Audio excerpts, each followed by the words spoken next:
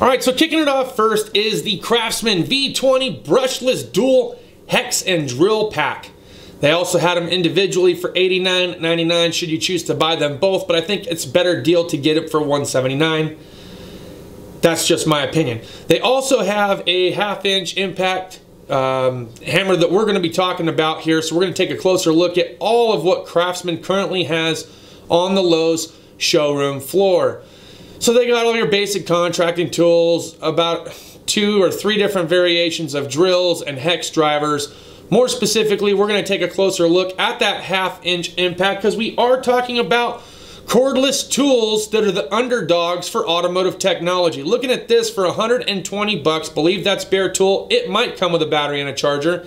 I felt that the head was a little bit long. Not sure how the power would hold up over time, but it's nice that they have it. Didn't see a 3 8 drive anywhere, didn't see a cordless ratchet anywhere. Those two might be tools they might develop in the future since it is Craftsman and they did start off with the contractor side as well as the automotive side when they first came into production. A lot of automotive mechanics from way back in the day started off with Craftsman. I would hope that they are looking towards the future by adding a couple of more tools that would be more versatile in the automotive realm. But let us not forget that Lowe's was a huge supplier of Kobalt for the longest time. They are slowly kind of cutting back on what they have to offer as far as mechanic sets, but they also have their fair share of cordless tool lineup that's not going away anytime soon, so I can tell. But we're going to take a look at the prices of the batteries and the chargers and also look and see what they have for the lineup. They also have some of the similar items that you can expect from Craftsman amongst other companies. Fans, contractor radios, circ saws, vacuum cleaners, they got leaf blowers, they got flashlights, they got angle grinders, they got multi-tools, they got just a plethora of different tools, but more specifically, again, we're looking for the automotive cordless options from Kobalt. We're looking for that half inch impact in the 24 volt VMAX lineup as well as a 3 8 drive, possibly a ratchet if they have one, but I don't think that they do. All right, so here we go. Now we're looking at the half inch and the 3 8 drive. Looks a little, I like the body style so far. Comfortable grip, and it's not this long head, okay? It's a nice short, almost a stubby option. I think they actually even do sell a stubby option in the half inch as well as the 3 8 drive. So if you're looking for the 24 volt VMAX, you might check out Kobalt. I think for what they're charging you, it's a fair price for what it is you're getting. Again, an underdog tool that is mostly overlooked. Everyone's looking at Milwaukee, which we'll get into later, but we're looking for the underdog platforms of all the other manufacturers out there like DeWalt. DeWalt still has their XR, drill, hex driver, Sawzall, again, a lot of construction tools, a lot of contractor tools here, but they have even offered you a 3 8 drive and a half inch drive XR. We're gonna take a look at that a little bit closer also, wishing that DeWalt would kind of dive in a little bit more, at least offer a 3 8 drive ratchet, because I know that that could also be used in construction, not just automotive. Because if they, if the construction workers can use a 3 8 drive and a half inch impact gun to throw lag bolts in, I'm sure there's cabinet makers that could use a 3 8 drive uh, ratchet of some kind in a cordless fashion so they're not dragging air hose through the house. They also had some atomic brushless. The XR was brushless. They're getting into the brushless system. The body style is cool looking. The handles are comfortable. In their 20 volt lithium ion setup, they still have that fuel option. So you can check that fuel, uh, what is it, the battery indicator on the back. I know that Milwaukee's calling it the fuel indicator. I think even DeWalt's calling it. Of course, they are paying uh, Milwaukee for using that uh, copyright, uh, whatever. There's a clause in there, right? They own the rights to it. DeWalt's got to pay them a little fraction of however many are sold for that. Drywall, screwdrivers, regular screwdrivers, multi-tools, again, sawzalls, um, just recirc saws. And they got it all, man. Angle grinders. They have a nice lineup of tools. Obviously, they don't have quite the lineup that Milwaukee has, but I'm looking for the underdog again. I'm looking for tools that people have forgotten about that still exist that could come in a, a more competitive price and they might overall be better. Even Bosch is getting into the half inch uh, impact gun, okay? Didn't see a 3 8 option, thought it was kind of goofy looking, but hey, uh, if it works, it works. If you have a bunch of Bosch tools, you might go check that out. a little underpowered from what I could feel on the showroom. Could be undercharged too. All right, now we're over at Home Depot checking out Makita. Now for Makita, I could tell you I've got the LXT. We also have these blue and black ones here at the house. Love them so far. Haven't had any issues with the 12 uh, volt or the 18 volt. Using the LXTs over at work, both the hex driver, the drill, and this Sawzall you see up here in the top right corner, that thing's been pretty awesome and gets into tight spaces. I also know that Makita came out with a 3 8 drive cordless ratchet option which is awesome. At least somebody's doing it outside of Makita. Or, I'm sorry, outside of Milwaukee. All right, now here we are in Milwaukee. Now, this is all Gen 1 stuff. Home Depot, get with the program. Get the Fuel 2, get the Gen 2 out there. We're getting ready to step into Gen 3. You're still carrying the old platform. Back to DeWalt, but now we're over at Home Depot trying to look for that half inch impact, trying to see what the 3 8 looks like. Didn't see any 3 8 drive uh, showcased on the floor, but did see one in the box with battery, with charger, underneath in the secured area that's all locked up. But we are getting ready to take a look at the new XR half inch, or well, relatively new, half inch impact gun. I'm really curious about this because it, I've heard good things. I've been asked, Justin, what are your thoughts? I don't have thoughts on this, but I'm going to get thoughts for you. Okay, we'll talk about that later. Let's take a look. $239.99. Unfortunately, the sale ended February 3rd, but now you can buy it for $399 and it comes with a 4 amp hour battery versus the 3 amp hour battery that you get free with charger. Let's not forget Harbor Freight, again another underdog, trying to compare themselves to Snap-on and various tool platforms, but they have a 3 8 drive ratchet cordless. They have the 20 volt lithium earthquake in the half inch, in the 3 8 with a long anvil or the short anvil, you're only really saving 10 bucks difference between the long anvil and the short anvil. I can tell you that the body or the head of it, a little bit longer than I would have wanted to see, but nonetheless, seems pretty heavy duty. Love the grip on it. They even have that stupid polisher that Milwaukee's trying to sell you for 300 and some odd dollars, and I think you get it for a fraction of the cost. So if you're new to automotive and you don't want to drop big dollars, don't rule these guys out because if you're just starting off, these underdogs could save you a killer amount of money, and you never know. They might just hold up for longer than you think. But that's not all. Today we're actually going to be discussing two tools that I picked up while I was showcasing some of the underdog tools out there because you guys asked for my opinion. I didn't have an opinion. I felt like I kind of owed you an opinion especially since I've kind of gone out of my way to uh, express some of the downfalls of the Milwaukee lineup that I have seen so far as a Milwaukee tool owner.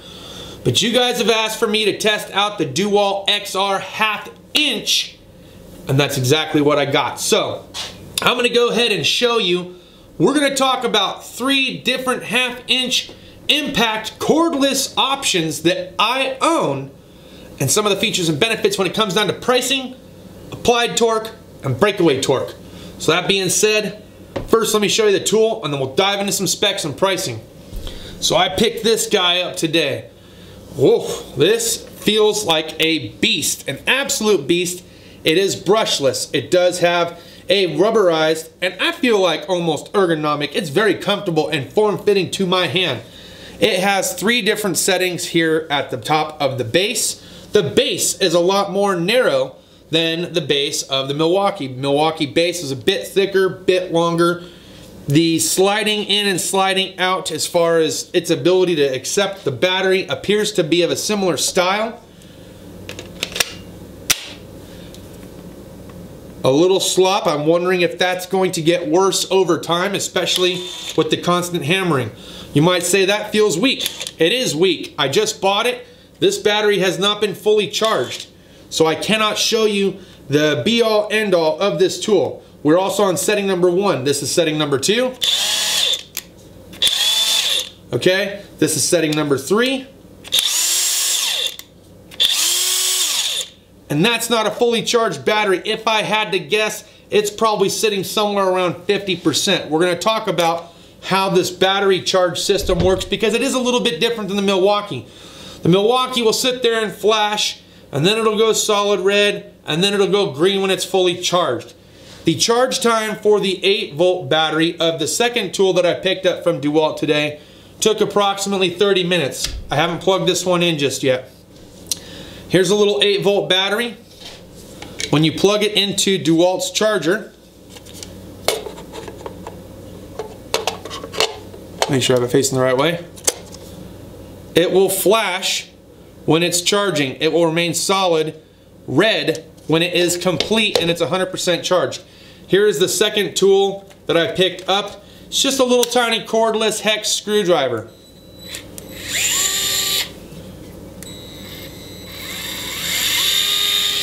Kind of interesting.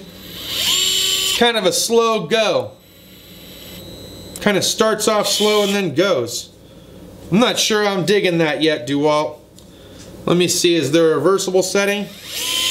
That's clearly left. That's right.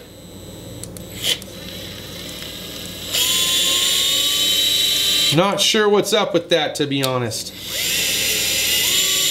So that's tighten.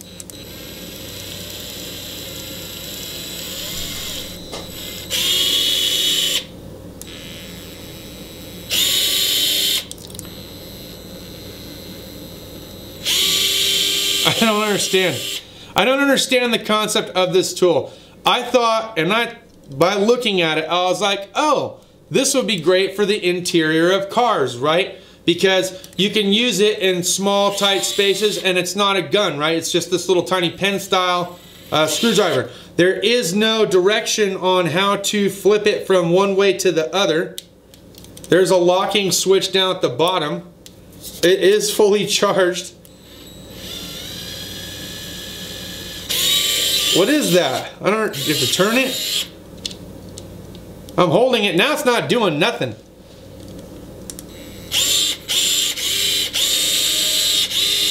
Oh.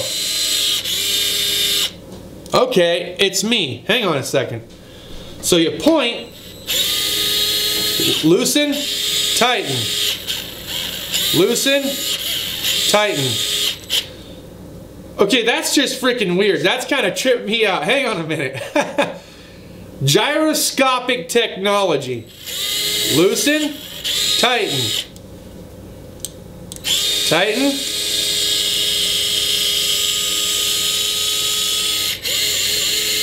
Loosen, tighten. Loosen,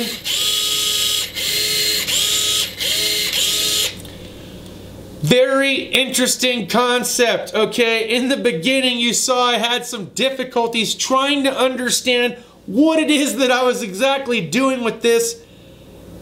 I might try it out for a week or two, just see how I feel about that. It's a very interesting concept, DeWalt, I'll give you that. So ergo, I'm not gonna condemn this just yet. I do wanna try it out in the real world and see how that holds up. I also wouldn't mind trying this out in the real world too. One of the benefits that I've seen so far from the DeWalt XR 20 volt half inch impact is this. So on the Milwaukee, here on the anvil, they still have a snap ring. The snap ring is meant to take an impact socket, not a chrome socket. There are some shade tree guys such as myself that will still put a chrome socket on it if we don't have an impact socket of that size. Don't you judge me.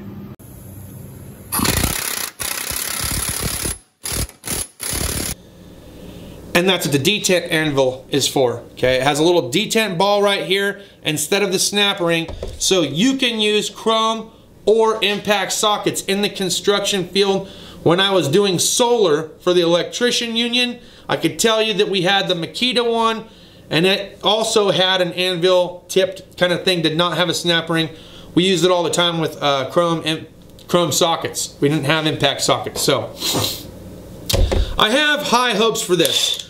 Something I should mention because I don't think it's been mentioned before, or at least it hasn't been really talked about a lot.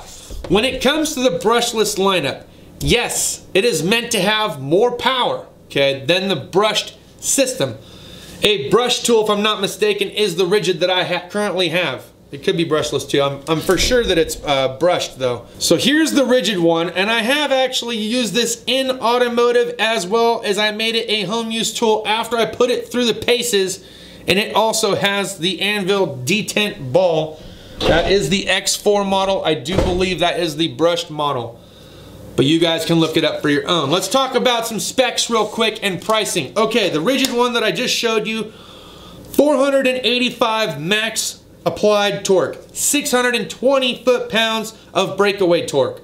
Comes in at 200 bucks, that's with battery and two, I'm sorry, two batteries, charger, and the tool. Let's talk about DeWalt.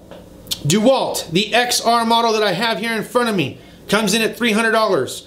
A max torque of 700 foot-pounds and a breakaway torque of 1200 foot-pounds. Your choice is between 3 amp hour, 4 amp hour, or 5 amp hour. This one has a 4 amp hour battery on it. So the higher amperage batteries you get, the more expensive it's going to cost. The Milwaukee, okay, $439. That's one battery with charge pack and the half inch impact Fuel 2. 700 foot-pounds max applied torque, 1100 foot-pounds breakaway torque. Your choice is between 3 amp hour and 5 amp hour batteries. Okay, so those are your options, those are your specs, those are your prices between the three tool lineups that I currently own. You should note, with the brushless system, it's not meant to get wet. It's not meant to be around oil or coolant or anything like that, though I'm sure a lot of mechanics out there have been utilizing Milwaukee, same as me, in those kind of conditions, and they continue to hold up. The reason why they tell you that is because this brushless system has sparks that occur on the inside, and it could be ignitable. Some fluids, such as ATF, that's most commonly used in power steering, as well as fuel, if you're working with something that has a fuel leak, could ignite and the tool could potentially catch fire. Which is why Snap-on, for the longest time, was just brushed. They didn't go to brushless until what, last year, the, the beginning of this year. So I believe that they have gone the brushless route. I'd be curious to see those tools up close to see what the ventilation on the side looks like, how they're able to protect it from the fluids from going in it and sparks to potentially cause some kind of a fire. Do not rule out the underdog, gentlemen. This tool is very powerful. If you were to ever put two tools side by side, which I'm gonna try to do in a series of video clips between the Milwaukee and the DeWalt XR, I would say this. Those two, DeWalt Milwaukee, have the highest applied, highest breakaway torque that I have seen so far. Not saying other tool companies haven't potentially done it, but those two being a very good battle. But don't rule out the underdog, okay? And I'm sure, like I said, there's a lot of other platforms that come in at a lot cheaper or a more of a fair price. I believe that this DeWalt is of a fair price, comes in at approximately $140, $150 cheaper than the Milwaukee. Keep that in the back of your mind. I'm gonna run this through the paces. I'm gonna have myself a beer, I'm gonna charge my tool, and I'm gonna enjoy the rest of my evening. I hope you guys do too. Cheers to those of you that have your beers. Share with me down in the comments if you want to see these two stacked up side by side in the automotive realm. I want to know. You want to see what this made in USA freaking XR has to offer? Let me know down in the comments. See you guys next time. Cheers and deuces.